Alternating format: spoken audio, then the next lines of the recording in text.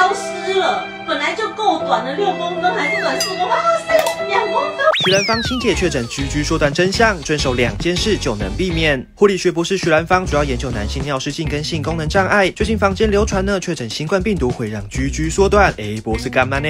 很多报告报道会研究说，哦，因为这个病毒啊，什么会什么缩小四公分，然后有百分之五还百分之几男生真的会得染疫之后缩小变短，好可怜，还还好可怕，好怎么样？我先跟你们说。实际上存在的不可能消失。我的阴茎怎么消失了？本来就够短的六公分，还是短四公分？啊是，两公分，我变女生了？不可能，阴茎在那边，它就是在那边，它不会中途消失。放心吧，那个英国还是美国的那个研究的那一个人是个，到底是怎么样变的？其实会影响到阴茎的长短的原因也很多，那只能说，与其担心病毒造成这个缩短，比较多的研究是，有可能是因为这个病毒让我们担心了，影响了心理状态，这个长期的身心的影响，而导致性功能的问题。那为什么会觉得缩短呢？第一个可能是因为充血量，你的充血量不足，基本上也会比你很硬的时候还要来的短。它不是真的短，它还在那儿。那为什么新新冠病毒会跟性功能障碍会有关系呢？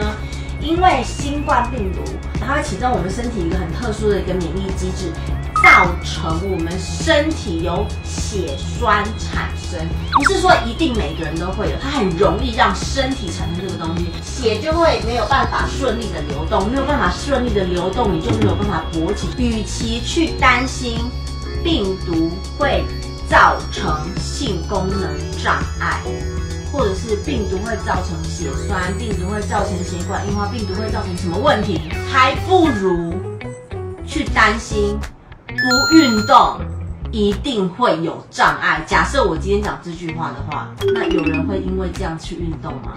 多运动，多喝水，可以预防你的血管。硬化可以预防你的血栓塞住，因为假设有血栓，只要你的血管够有弹性，就可以降低它被塞住。博士也说呢，不要让心理的恐慌影响性功能。这个病毒它间接的让你开始变得很慌张、很紧张，你出门开始变得很紧张，你回家看到老婆，哦，你今天出去跟很多人接触，不行，我们不能接触，那我我这样会有病毒。你光这样子慌张，你要怎么勃起？当然。还是要做好勤洗手、戴口罩，不要染疫是最好的。但是也不要因为这样而造成恐慌。